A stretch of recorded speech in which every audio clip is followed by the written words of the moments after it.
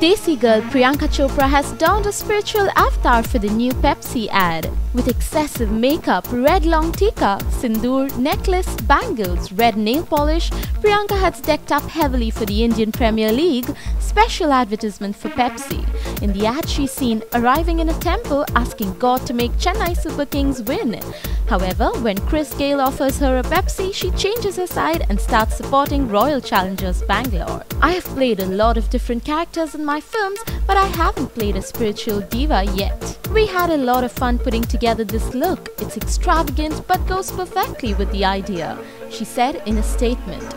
Well, why don't you like this video and tell us how you excited to see Priyanka as a Sadhvi in the new IPL ad and don't forget to subscribe to Bollywood Backstage.